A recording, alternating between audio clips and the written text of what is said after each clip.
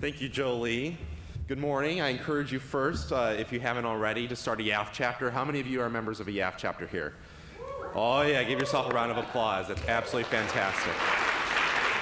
I'm pretty sure this is one of the largest attendance of YAF chapter members that we've had in a very long time. So uh, I encourage you, if you have, are not a member of a YAF chapter or if your school does not have one, I encourage you to start one. Well, today I am excited to introduce our next speaker, Mr. Robert Spencer. Among his many accomplishments, Robert Spencer is a featured speaker with the Young America's Foundation for many years, speaking at many colleges across the country. At his recent YAF-sponsored lecture at the University of Buffalo, he was shouted down by leftist agitators, and the university did nothing. Also recently, Icelandic leftists poisoned him. Why? He's probably trying, telling the truth about radical Islamism that the left does not want you to hear. Robert Spencer is the director of Jihad Watch and the author of 16 books, including two New York Times bestsellers. His most recent book, The Complete Infidel's Guide to Free Speech and Its Enemies. Coming up next month is the release of his newest book, Confessions of Islamophobe. Spencer has led seminars on Islam and Jihad for the FBI, United States Central Command, United States Army Command, and the Joint Terrorism Task Force, along with the U.S. intelligence community at large. He is a weekly columnist for PJ Media and Front Page magazine and has written hundreds of articles about jihad and Islamic terrorism. His articles on Islam and other topics have been featured in prominent publications around the world. Spencer has frequently appeared on several national television and radio programs on Fox News, The Laura Ingraham Show, and many others. And we are, help, we are happy to help you bring Robert Spencer to your campus through our unparalleled campus lecture program. So please join me in welcoming Robert Spencer.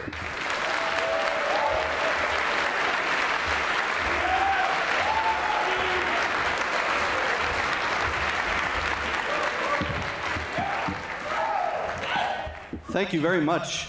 I love YAF, and it is always so great to be here. And you have such a marvelous opportunity in being here, and I commend you all for making the effort to come. Now, I wanted to ask you, you know, when you take history classes, there are various historians like to name various historical periods. You may have noticed that. And there's the, the Gilded Age, or going way back, the, the Dark Ages, the Age of Feudalism, whatever. And I've often wondered what are future historians going to call the early 21st century? And I've got a nomination The Age of Absurdity. and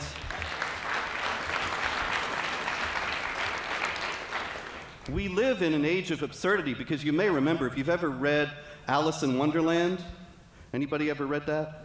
A few people have. Well, there, it's an absurd book. It's very funny. And there is a character in it, the White Queen, that's not a racist statement, and she says, I can believe six impossible things before breakfast.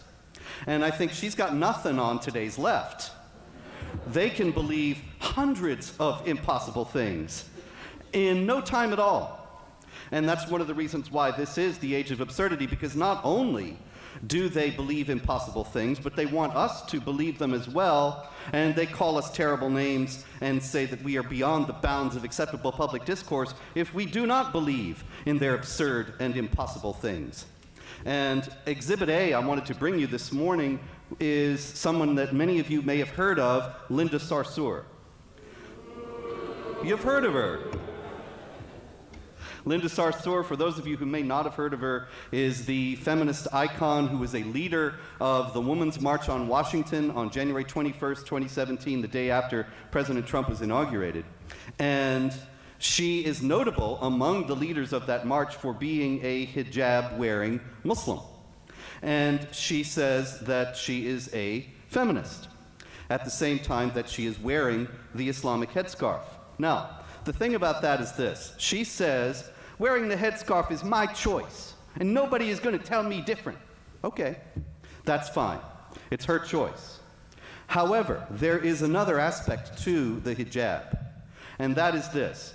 The whole idea behind a woman wearing the headscarf in Islamic law is because it's a woman's responsibility, and entirely a woman's responsibility, to make sure men don't get tempted by their appearance.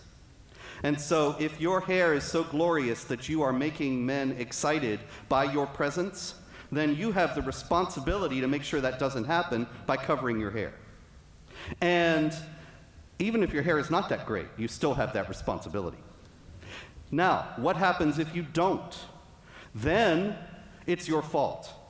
If you are a woman who is attacked, molested, raped, it's your fault because you did not contain the temptation of the male who has no responsibility whatsoever for self control.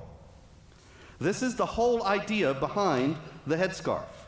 And backing that up is the fact that many, many women, far more than we can ever know, because these things are not always reported, have been brutalized or even killed for not wearing the hijab.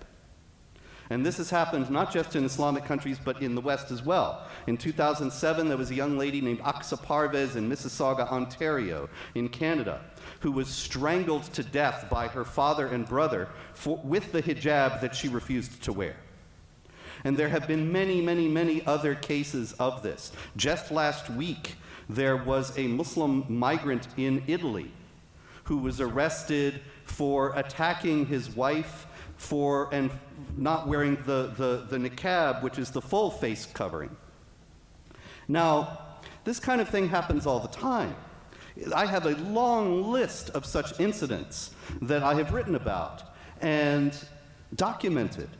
And so the hijab is hardly a feminist statement. It's not really a statement of a woman's choice or freedom. In the original context from which it comes, it is a manifestation of the enslavement, subjugation, and second class status of women. So for a feminist leader to be wearing it doesn't really compute. It's part of the age of absurdity. She, now it gets worse. It gets more absurd, I should say. Uh, Linda Sarsour actually did an advertisement for the hijab last January. It wasn't hers, it was Vice News. Vice News, of course, is a leftist online news source. And because the left has decided that they're going to aid the Islamic agenda, in, uh, which is a very interesting thing in itself, they ran this video that featured all these people wearing the hijab and saying how wonderful it was. And Linda Sarsour was one of them. And in the video, she says, Before I was wearing the hijab, I was just an ordinary white girl. Now, if you see Linda Sarsour today and you read her interviews or watch her, you will see that she repeatedly and habitually refers to herself as a person of color. So apparently, she was white until she put on the hijab. And then that made her non white. Now, this is because in the age of absurdity, white and black aren't really colors. They're not really visual cues. They are a measure of how woke you are.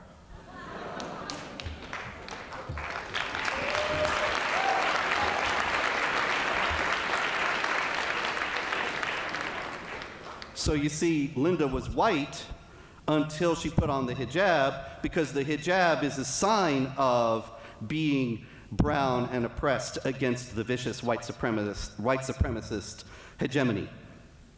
Now, this is of course absurd on a number of levels because Linda Sarsour is a very pale individual and is a lot whiter than I am, for example, and yet she would say that I was white and she is a person of color. Now, that's fine. But not only that, it gets even more absurd because when she was challenged about this, and some people said, Hey, how come you used to be white and you ain't no more? She said, Well, I'm Palestinian. If I say I'm black, I'm black. And I thought, well, that's just the crowning point of the age of absurdity. If I say I'm black, I'm black. Okay, great. Well, then you know what? I'm Linda Sarsour and you can all go back home and say, Linda Sarsour was speaking at YAF. I couldn't believe it. And I, Linda Sarsour, have more to tell you about this. Because not only did she say, if I say I'm black, I'm black, she said, I'm Palestinian. If I say I'm black, I'm black. Now, that's a very, very important phrase. I'm Palestinian. Because if you study the Israeli Palestinian conflict and you go back in history, you will discover something very strange. Before the 1960s, nobody ever mentioned the Palestinians. Before the 1960s, there's no hint or trace of the existence of Palestinians anywhere. And you say, now, wait a minute, Spencer, hold on, you greasy Islamophobe, wait a minute. In 1948, the State of Israel was founded, and the surrounding Arab states went to war with it because of the people who were supposedly ejected from the area, and those were who? The Palestinians. Nope, that's not really what happened. If you go back to 1948 and read all the newspapers from 1948, you will see there's no mention of Palestinians, there's only Arabs. And that, in fact, you go back in history, there was never a state of Palestine, a kingdom of Palestine, anything like that. There was a geographical region called Palestine, but the people there, for the most part, were of no different ethnicity or nationality or language or religion from the surrounding Arab cultures. In other words, the people in Palestine were no different from the people in Lebanon, Syria, Jordan, and so on. Now, what happened was this. In 1967, the Israelis fought the Six Day War against the surrounding Arab states. And Americans loved the underdog, and the Israelis were set, this tiny little Jewish state, against 22 massive Arab states who had vowed its destruction. Not all of them went to war against it in 1967, but they were all on that side. Now, this was a big PR problem as far as the jihadis were concerned. And so Yasser Arafat, the leader of the Palestinians, and the Soviet Union, which was helping the Palestinians, they cooked up the Palestinians. They invented a Palestinian nationality and ethnicity. And the idea was to have an even tinier people set against the monstrous Israeli war machine, which changed, shifted the whole narrative around from the plucky Israelis facing the massive Arab states. And so now the underdog is the even smaller group, the Palestinians. But there's never been a Palestinian ethnicity or nationality before in history. This is just another manifestation of the age of absurdity. And what I think Linda Sarsour was saying was, I'm already of a made up ethnicity, so why can't I change my race too? After all, she's already departed from reality. So once you've already departed from reality, all bets are off. You can just keep doing it. And that's why I'm Linda Sarsour. but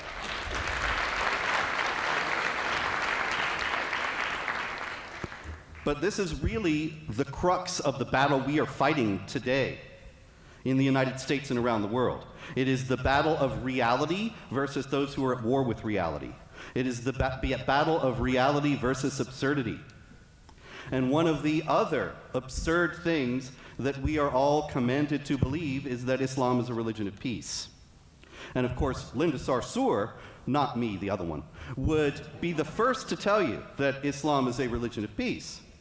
And you probably know, if you have ever gotten into any conversations with any leftists on your campuses, that if you say, if you suggest that Islam is not a religion of peace, then you are a racist, bigoted, genocidally minded, hate mongering Islamophobe.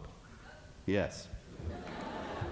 now, the thing is, I'm here to tell you, I, Linda Sarsour, am here to tell you Islam is not a religion of peace. Now, I happen to have the Quran with me, and I'm sure you have yours with you, so open your Qurans. You didn't bring it? How woke are you anyway? Anyway, if you open your Qurans, those of you who did bring them, chapter 9, verse 5, when the sacred months are over, kill the idolaters wherever you find them. Chapter 4, verse 89. Good thing you're not an idolater, right? No problem. Chapter 4, verse 89.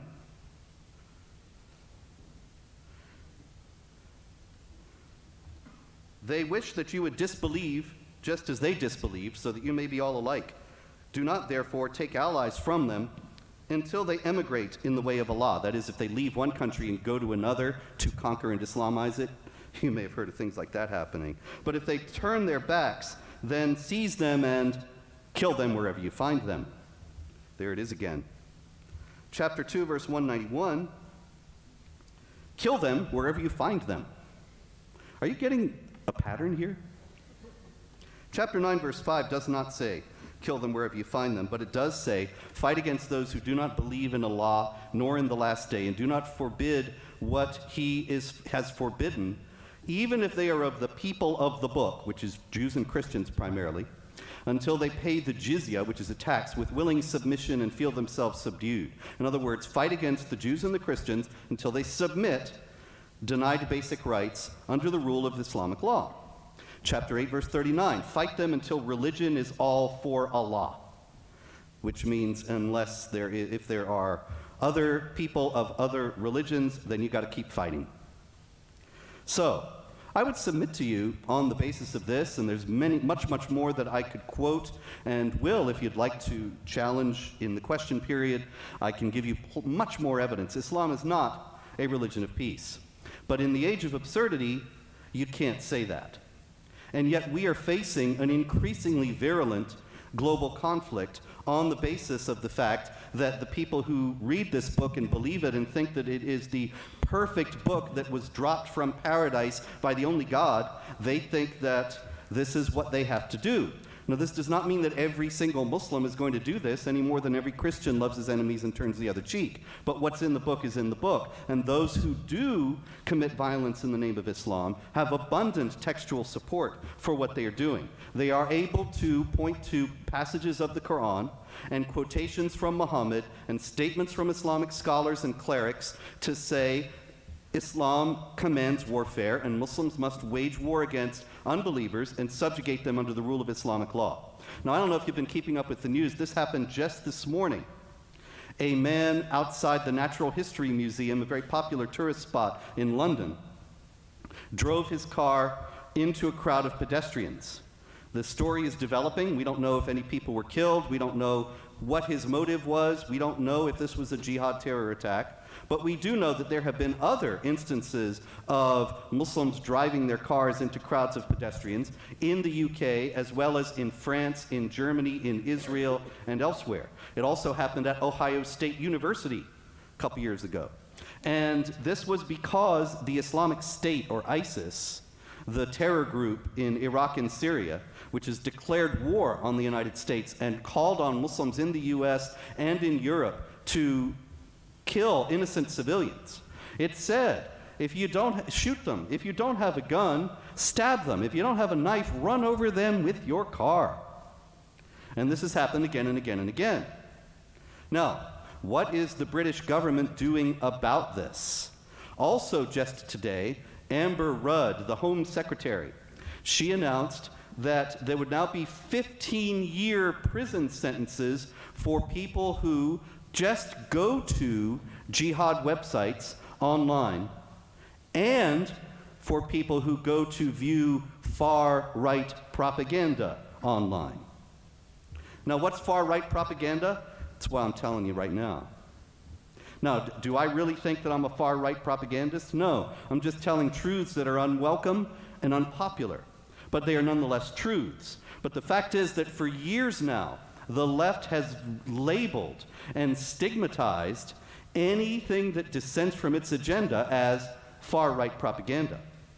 As a matter of fact, about 15 years ago, I was in a documentary film, and in the course of the documentary film, I said, Islam has doctrines of warfare against unbelievers. That is a true statement. I just gave you some of the Quran, I can give you plenty more. And 13 years after that, two years ago, I got a letter from the UK Home Office. The head of it then was Theresa May, who is now the Prime Minister of Britain and the predecessor of Amber Rudd. And it said, the letter said, You are not allowed to enter Great Britain.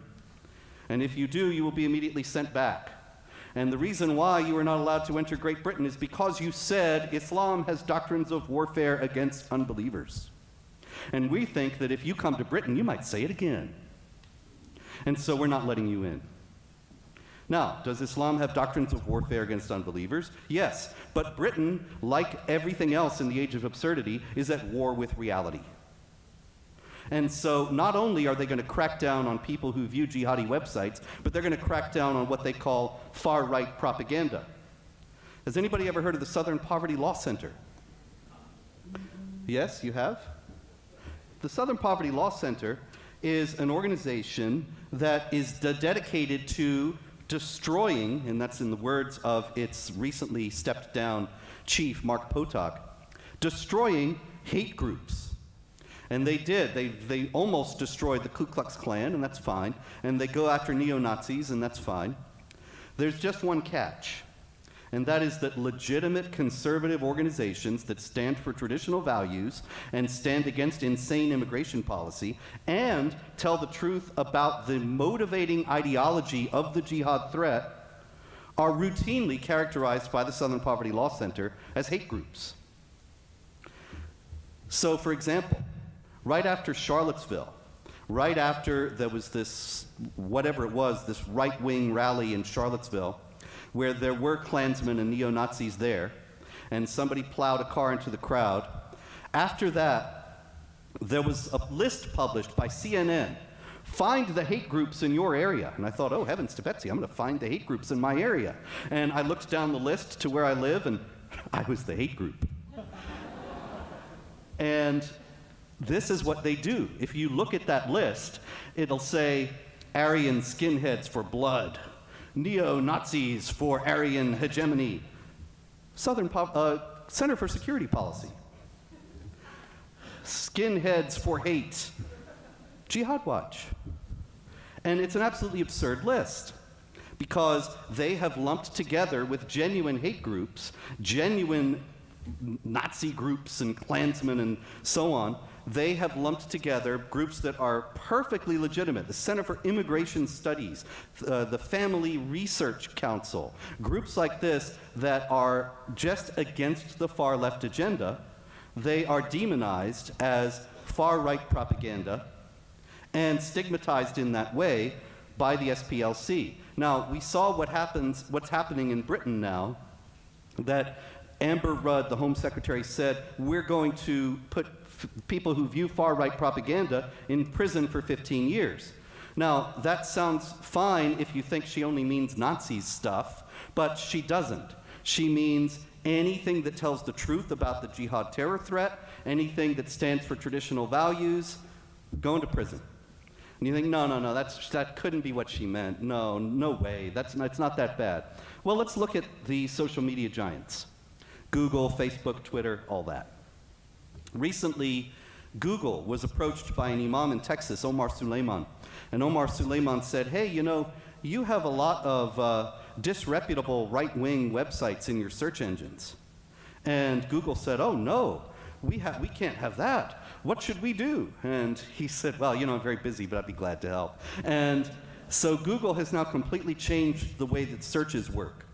Now, I run a website called Jihad Watch at jihadwatch.org, updated many times daily with news and commentary on jihad activity in the United States and around the world. And Jihad Watch, for years, because it's a popular website and it's about jihad, if you searched for the word jihad, it would be the first thing that came up in Google because Google was basing its results on subject matter congruence with what was searched and popularity. Very simple. But now, if you search for jihad, Jihad Watch does not come up even on the first page. And all you get is Islam is really a misunderstood religion of peace, and so on and so on, if you search for jihad at Google.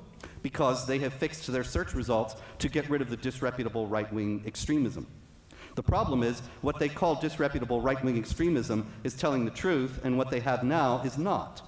But this is what happens in the age of absurdity. Same thing with Facebook. Facebook, and um, once again, I have to give a personal example, but this is not by any means only happening to me. But it used to be Facebook every day, there were about 20,000 referrals to Jihad Watch. Now, you probably know more about that than I do. I mean, what that exactly means. But as far as I understand, that means that 20,000 people every day would see a link from jihad, uh, a link to Jihad Watch at Facebook and click on it and go to read the story at Jihad Watch. But in mid-February, that dropped to 2,000 a day and it's even lower now. Facebook put some block on what it calls hate speech. The problem is, what it calls hate speech is determined by groups like the Southern Poverty Law Center and other leftists who are trying to criminalize and silence all dissent. Now, you still might think, oh no, that's, that's absurd, or maybe you are a little more hateful than you're making out, or who knows what you're thinking. But consider this The vice president of Facebook, Joel Kaplan, just last July flew to Pakistan and he told the Pakistani government, he met with the interior minister of Pakistan, Chaudhry Nisar Ali Khan, and he told Chaudhry Nisar Ali Khan that he would make sure that Facebook would remove all material critical of Islam. Now, has Facebook made any promise to anyone to remove all material critical of Christianity? Of course not. Has it promised to remove all material critical of Judaism? No. Any material critical of Hinduism, Buddhism? No, of course not. But it has promised, and it has started to do so, to remove all material critical of Islam. And the problem is not just that it is talking about material that might be unfairly critical or unfairly mocking or lampooning Muhammad or the Quran or Islam in some way. It means counter-terror analysis. Because the Organization of Islamic Cooperation, which is 57 Muslim governments around the world, for years now, they have been working to get the West to adopt hate speech laws, to outlaw hate speech. And then when you read their stuff, they say, What is hate speech? Well, what do you think it is? Anything that links Islam with terrorism. Anything that links Islam with terrorism, they say is hate speech, they want it gone. Now, how does this work? Have you ever heard of Amar Shaheen? No, I didn't think so. Amar Shaheen was an, is an imam in Riverside, California. And recently he prayed, Oh Allah, destroy the Jews, count them and annihilate them down to the very last one. He prayed this in the mosque in Riverside, California. And so he didn't know there was somebody videotaping and put the video up. And so he got a little heat for it and I ran a news story at Jihad Watch. It was very straightforward. I just said, here's Amar Shaheen on video asking Allah to destroy the Jews. And here are passages from the Quran that say that the Jews are scheming against the Muslims, are the worst enemies of the Muslims. It's chapter 5, verse 82. Various other uh, passages of the Quran that are anti Semitic. And I got a notice from Twitter and Twitter said, Your tweet, because all the Jihad Watch posts get tweeted out automatically, said, Your tweet has been flagged as hate speech. And what was the tweet? It said, California Imam prays for the annihilation of the Jews. They did not flag the Imam. They didn't care when he said it. The problem was me reporting it. And that is a key element of the age of absurdity, you see. If the Quran says kill them wherever you find them, that's a noble religious expression of the religion of peace. But if I say the Quran says kill them wherever you find them, hate speech. You see the distinction. Twitter did not crack down on the California imam for praying for the annihilation of the Jews. It only cracked down on me for reporting it. And that is what is happening. The truth is being proscribed and outlawed. And the left is using Charlottesville as its Reichstag fire moment. You remember the Reichstag fire? Have you studied that in Germany? February 27, 1933, my friends. January 30th, 1933, Hitler was appointed Chancellor of Germany. Less than a month later, February 27th, the Reichstag, the parliament building of Germany, burns down the police found this guy in, inside soaking rags with gasoline and setting fires, Marinus von der Lubbe, and he turned out to be a communist. And so Hitler immediately outlawed the Communist Party, which had a considerable representation in the Reichstag, and arrested all the parliamentarians who were communists. This enabled Hitler to have a majority so he could pass laws making him a dictator. In other words, they exploited that fire to silence their opponents and to establish a dictatorship in which only their opinions would be allowed, only their views would be sounded. You got it? Now, a lot of people thought the Nazis started the fire, but that's another story. They certainly used it as an opportunity. Now, this is what the left is doing with Charlottesville right now. They are trying to use it as an opportunity to demonize all dissent and to stigmatize all dissent. And so you remember I told you that the Southern Poverty Law Center, they take legitimate conservative groups that do not call for violence, that are not hateful, and they call them hate groups. And it is on the basis of the Southern Poverty Law Center's hate group list that Google, Facebook, YouTube, Twitter are all moving against those groups and denying them their platforms. And so, this is the battle you, as young activists, are going to have to take on. And that is the battle to defend the freedom of speech. Well, now, a lot of people will say, no, wait a minute here again. The freedom of speech is guaranteed in the Constitution, they can't destroy it. Well, we are here in Chicago. Try to buy a gun here and then tell me how much power the Second Amendment has here. The fact is that the Second Amendment in Chicago, as in other large cities, has been hedged all around with so many regulations that it's effectively a dead letter, so that only criminal hooligans can get guns. It's the same thing with the First Amendment. It can be completely destroyed by regulations that make exceptions and say, well, this you can't say and that you can't say, and it's coming. I spoke a few years ago at Cal Poly. Anybody here from Cal Poly? And a girl in the audience said, what you're saying is hate speech, and hate speech is not free speech. And I've seen that many times since when I've spoken at universities. Hate speech is not free speech. People holding up signs. Now think about that. I actually asked the girl at Cal Poly, well, who gets to decide what's hate speech? And she said, well, a, a duly appointed government bodies would do that. Well, do you really want the government doing that? That's the reason why we have the First Amendment in the first place. The founding fathers knew that if the British king had his, uh, uh, was able to, he would outlaw what they were saying. And so they understood that the freedom of speech was the absolute guarantee of a free society. And if you do not have the one, you do not have the other.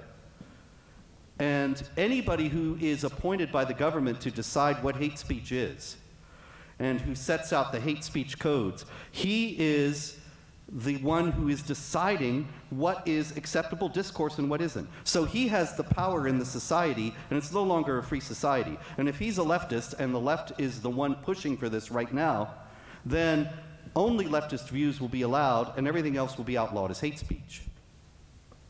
Now, this is happening, this is coming. And there is a concerted effort on the left to make the First Amendment essentially a dead letter by classifying large segments of legitimate conservative thought as hate speech and essentially, if not outlawing them, then completely marginalizing them. And you'll never guess who's behind some of this. Do you remember Hillary Clinton? A few years ago, she was Secretary of State. And I told you the Organization of Islamic Cooperation was, is trying to get the West to criminalize hate speech. And they push resolutions at the United Nations every year to get the call upon member states to criminalize incitement to religious hatred. Now, here again, if I quote the Quran, is that inciting to religious hatred? I just quoted what was in there. The OIC would say, yes, it is. But I think, well, it's obviously in there. I didn't write the Quran. It's just unpopular truths. But this is not how they see it. So Hillary Clinton actually signed on to one of these resolutions. After the Bush administration had rejected them year after year, the Obama administration accepted one, voted for it, and Hillary Clinton got behind it. And even after it was signed, she went to Istanbul and she spoke at a meeting of the Organization of Islamic Cooperation. And she said, we have this First Amendment thing. We can't just criminalize the speech we don't like. But we can use old fashioned techniques of peer pressure and shaming to get people not to say what we don't want them to say. And it's working. Think about it. Have you ever gone to uh, your campus anywhere in any public forum and said, you know, there's violence in the Quran, or Islam is not a religion of peace, or the terrorists are shouting Allahu Akbar, maybe they're Muslims? Have you ever done anything like that? Or can you imagine what would happen if you did? Can you imagine the outcry that would be not about what you were saying, but about how that you dared to say it and how terrible a person you are for saying these things? You know, there was a young man at uh, University of Texas. Oh, I can't remember which University of Texas, I'm sorry.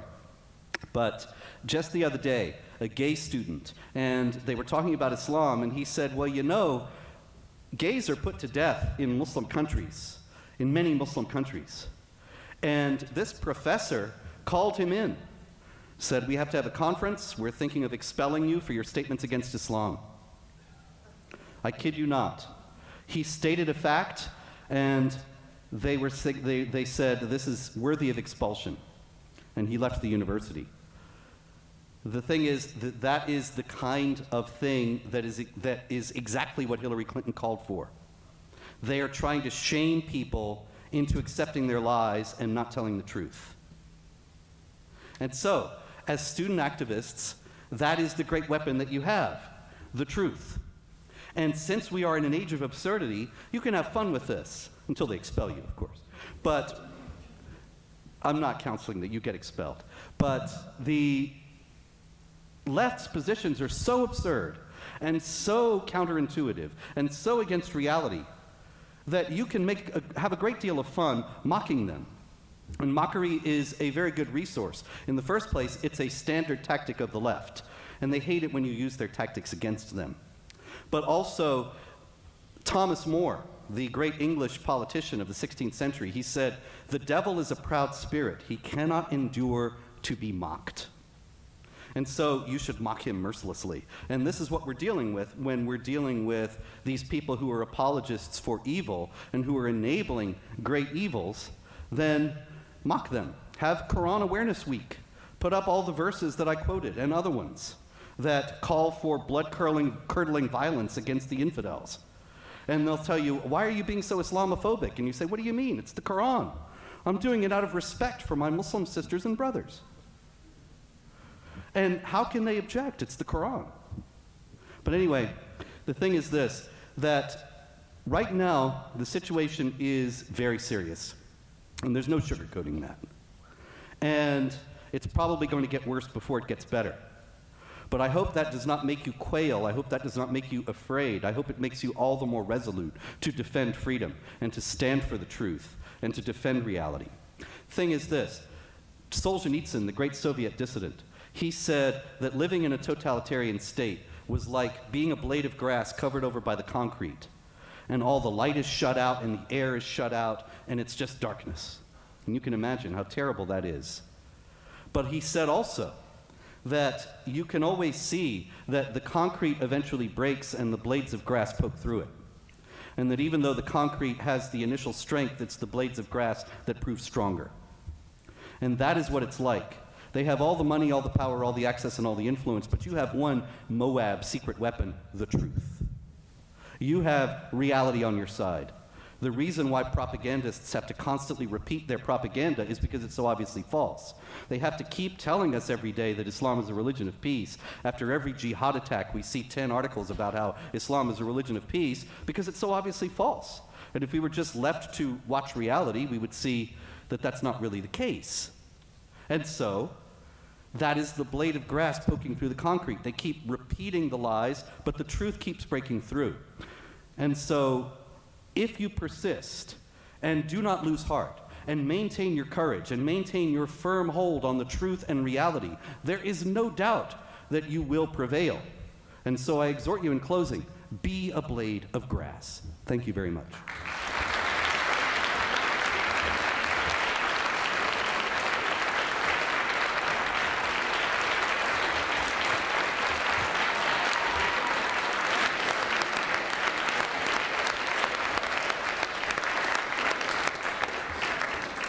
Thank you very much. I'm deeply honored by that in all seriousness. And anyway, if you have questions, comments, or death fatwas, let's go.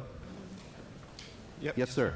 Yeah, um, I appreciate that you mentioned um, uh, the situation in Great Britain, what's going on there. In the last 10 years, I think there's been a, a major demographic shift, something like 2% to 25% of London, for example, is, is, is now Muslim. Um, and in that same time, we've seen a massive spike in, of course, the number of terrorist attacks and, uh, and a number of other things. Um, to what extent do you think these kind of demographic shifts in such a short period of time will lead to uh, you know, cultural impacts across the spectrum? Oh, well, there's just no doubt about it. It's 100%. The British government under Blair, Brown, Cameron, and now May have, has pursued a policy of massive and unrestricted immigration from Muslim countries without any vetting, without any attempt to determine if any of the people are jihadis. Meanwhile, the Islamic State has vowed to infiltrate the refugee stream So it's just an obvious one-to-one correlation. They bringing all these people in, there are going to be some jihadis among them, and it's already happening. And so the more that they have, the more the, the more Muslims they have, the more jihadis they're going to have. I'm not saying every Muslim is a jihadi or ever will be, but what I am saying is this: if there are jihadis among the Muslims and you can't tell which, which, who, which the jihadis are, then you have two hard choices. And this is the choice that Trump faced as well. You either keep out some harmless people or you let in some harmful people. But you don't have any other choice. Trump, with his travel ban, is saying we're going to have to inconvenience some harmless people in order to keep out the harmful people because we can't tell the harmful ones from the larger group. The British government has made the other decision, as has every other government in the, in the Western world. They say, no, it's racist, bigoted, and Islamophobic to keep out the harmless people, so we have to let in the harmful people. And so they have, they're doing so, and they're going to have more violence as a result. Thank you. Yes, sir. Hi. Um, uh, first, I want to say thank you, Mr. Spencer, for taking time out of your busy schedule to come and speak here today. Thank you. I love YAF. I would always drop everything for YAF. Uh, my, uh,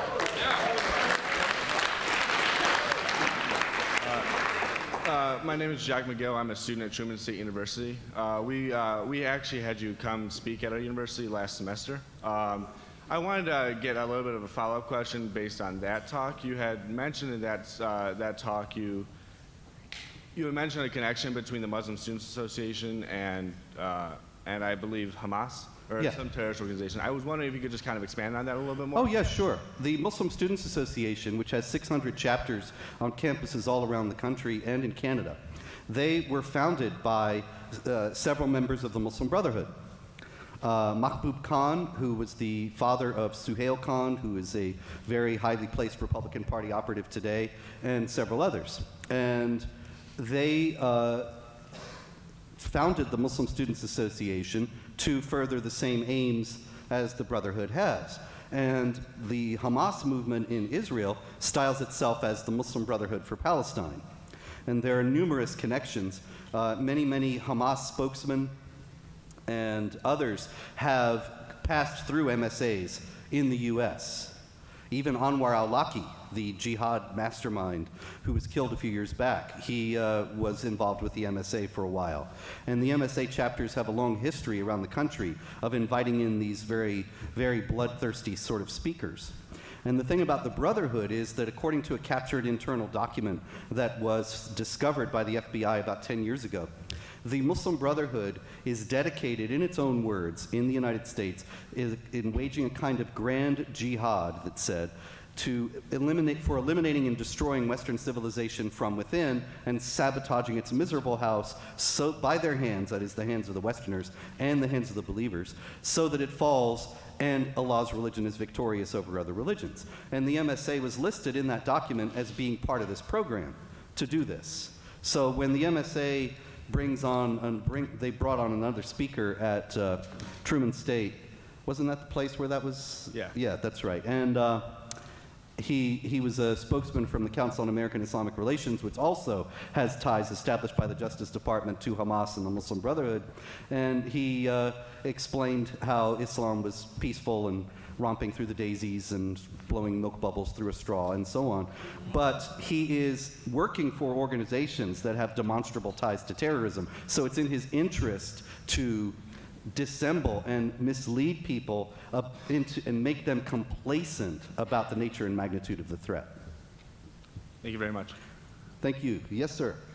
Hi there, my name is Sarab Sharma from the University of Texas at Austin. Um, I have a question to you about persuasion.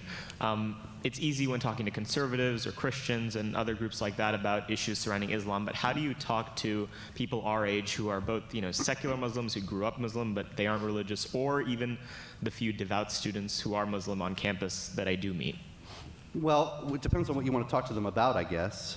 Uh, can you? S- specifically, bringing to their attention the ideological roots of what Islam results Oh, in when okay. in politics. Well, if I were if I were in your shoes, what I would do is point out that jihadis again and again and again, as a matter of fact, virtually unanimously, cite the Quran. They explain what they're doing in terms of Islam. ISIS issued frequent communiques, and you can find a lot of them online, and they're always quoting the Quran. And the 9 11 hijackers, the plotters who did not get killed, they weren't, they weren't um, um, flying the planes into the buildings, but they were involved in the plot, and there are nine of them who are in prison now. And they wrote a letter to the US government explaining why they did what they did. And it's all Quran verses and quotations from Muhammad. So if you have people who are saying that Islam rejects all this, then I, I would say, well, look at all this material, and what would you say to those Muslims? If you were talking to Osama bin Laden right now as a Muslim, how would you explain to him that he's wrong? How would you explain to him that what he's doing has nothing to do with Islam? What I find is most of the time, Muslim spokesmen in the US have no trouble going to non Muslim audiences and telling them that Islam is a religion of peace, but they're not going to the Muslim communities and trying to, to make sure that no more American Muslims join ISIS or Al Qaeda, and many have. And so, here again, reality is always the greatest weapon against this enforced absurdity. And the Quran verses are clear. The Quran even says it's clear. And so, it's, you know, what other meaning can be put to kill them wherever you find them? Uh, they say, well, you have to know the Arabic. Okay, so you, you mean that in the Arabic it really says hug them wherever you find them, and it's just been terribly mistranslated because you can't really understand the Arabic? It's absurd. And so, if you politely and courteously, if they are reasonable people, confront them with reality, then they may have a light bulb experience. Thank you. Thank you. Yes, sir. Hi, my name is Andy. I'm from Florida International University. First of all, I'd like to thank you, Linda Sarsour, for coming to this YAF conference. Thank you. I, Sarsour, am very happy to be here. So I wanted to ask you about uh, an Islamic concept which I believe is very uh, dangerous. And they are called taqiyya, tawriya, maruna, and kitman. And I would like to just hear you expand upon that. Yeah, all four of those terms are essentially terms for various kinds of lying to infidels. And it is standard Islamic theology that if you are under pressure or in a situation of a state of war between the Muslims and the non Muslims, and remember, jihadis do say that Islam is at a state of war with non Muslims today, then you can lie to further the cause of Islam. And Muhammad said it himself, the Prophet of Islam. He said, War is deceit. And he allowed lying between a husband and a wife. A husband can lie to his wife to keep the peace in the family and in wartime. And those were the two occasions in which Muhammad said it's okay to lie. And it's also in the Quran. If you open your Qurans to chapter 3, verse 28, chapter 3, verse 28 says, Do not take the unbelievers as your friends and protectors in preference to believers. Whoever does this has nothing to do with Allah, unless you are doing it to guard yourselves against them. Now, what does that mean unless you're doing it to guard yourselves against them? I actually have here a Quran that I picked up in London before I got banned, and it's got commentary from Sayyid Abu Ala Maududi. I, I'll explain who he is. I went into the Finsbury Park Mosque. The Finsbury Park Mosque became notorious a few years back for having this uh, imam who was, he was known as Captain Hook.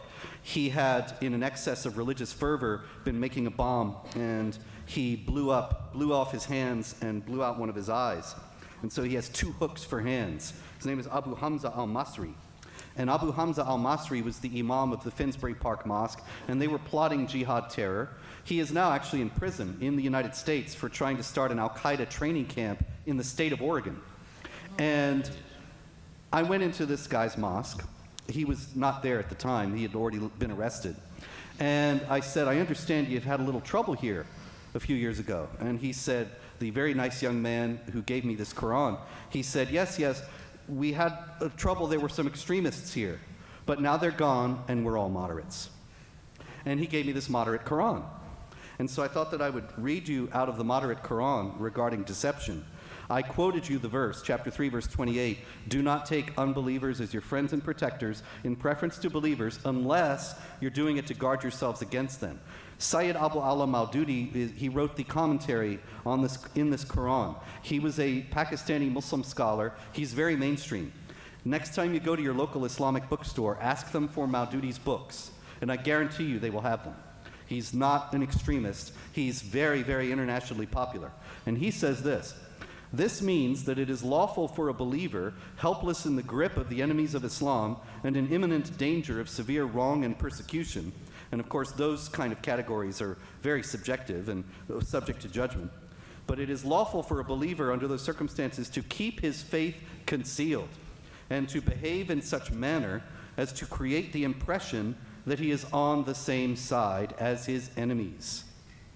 And so, yes, it's something that I see on a daily basis a massive deception in the United States from Muslim spokesmen claiming that Islam is peaceful and trying to make people think that there really is no problem here. And that is all part of this deception that is sanctioned in the Quran and by Muhammad, the Prophet of Islam. Thank you, Mr. Spencer. Yeah, loves you. Yes, sir. Hi, my name is Cole Burgess from the University of Michigan. Um, recently, I was labeled a racist, a bigot, uh, Islam hater, black Congratulations. hater. Thank you. Um, because I replied all to an email stating my opinion backed by nothing but facts about standing during the Michigan versus Michigan State game during the national anthem. It was a petition to get my entire branch of the school to sit down. Um, I was just wondering if you could outline a couple strategies based on personal experience and how to deflect these erroneous accusations. Of racism and bigotry and Islamophobia? Yeah. The thing is, is that those are tactics, obviously. Those labels are flung at anyone and everyone who is uh, standing and tell, telling the truth about these issues. But here again, this is the age of absurdity. Those charges are absolutely ridiculous. For example, there, are, there is still legalized slavery in the world. Where is it? It's in North Africa, in Mauritania, in Niger, in various other countries in North Africa. Primarily, it's also in other Muslim countries, but it is sanctioned by Islam, it's in the Quran, and so it's still practiced in these places. And in areas of Mauritania and elsewhere, it is largely race based. As a matter of fact, the word for slave in Arabic, abd, is the same as the word for black. And so you could have an anti racism awareness week and highlight the plight of black slaves in Muslim countries. I'd lose Who my are- scholarship, sir. Huh? I'd get expelled for sure. Yeah, but you see what I'm saying. I understand that they, they, they can't refute us, and so they have to shut us down. And I'm not counseling that you do anything to get yourself expelled. But if you can play on the absurdities of their position, there is so much material to exploit. And that is what I would do. That they claim to be anti racist, so highlight the racism that is in Islam and sanctioned by Islamic texts. If they claim to be against Islamophobia, well, what is Islamophobia anyway? This is a, a vicious conflation of two quite different things. In the first place, there is Islamophobia that is people victimizing innocent Muslims. Now, nobody's in favor of that. Like some creeps tearing off somebody's hijab. Nobody's in favor. But they also call Islamophobia honest analysis of the Islamic texts. Mm-hmm. And so it's a, it's a propaganda term designed to intimidate. Now, what can you do in the face of that is simply try to show how these things are being done. And for example, if there's hijab week, you know, I'm, I see that on campuses f- more frequently now than ever, that women, non-Muslim women are encouraged to wear hijab in solidarity with Muslim women who are supposedly brutalized by Trump hat-wearing louts who are Islamophobic. And you highlight some of the, the women and girls who've been brutalized and victimized and killed for not wearing the hijab. Right. And I can give you a long list and ask if their rights matter. This kind of thing. Great. Thank you. Thank you. Hi, my name is uh, my name my name is John Mayer. I go to Liberty University. Um, my question was in regards to the correlation between like true Muslims and like you know just kind of like fake Muslims, I guess, where I, I you know I go to Christian school and there's a lot of verses in the Old Testament that are no longer followed by Christians. Um, and, you know, people will point to a lot of the violent verses in the Old Testament. Um, is there is there any correlation between that and you know the Quran? This is very important. I'm glad you asked the question because it's something that I hear seven times a day. Muslims write me and say, What about the Old Testament? And the fact is that there is a lot of violence in the Old Testament, but there's, there are several fundamental differences. One is this the Old Testament does have God ordering various people to kill. And he told Joshua the prophet to wipe out whole cities and kill everybody man, woman, child, everybody. Now that's terrible. But there's one big thing that is different between that and the Quran. And that is never does it say, go and do likewise, go and imitate this guy. Go and kill and clear out whole cities. And never have there been people who believe in the Old Testament, Jews or Christians, who have ever committed massacres that committed Christians in particular have committed a lot of massacres in the name of Christianity. There's no denying that. But they've never pointed to Old Testament passages and said, we are imitating those, because they are not presented that way. They are describing various events. They do have God telling people to kill people, which is a big problem. And theologians and scholars have been studying that for centuries and come up with various explanations for it. And most of the time they spiritualize it and say, this means you should struggle against sin in your life. But never do you have Jewish or Christian exegetes saying, this means you should go and kill people. In the Quran, the commands to kill and to subjugate unbelievers are open ended and universal and apply to all believers. And you find mainstream Islamic theologians, including Maududi and others, who say, yes, the highest stage of the Quran's teaching on jihad is warfare against unbelievers and not coexistence or tolerance. So what I'm saying is, is that in the first place, the Old Testament is descriptive. It just describes various problematic things. It is not prescriptive.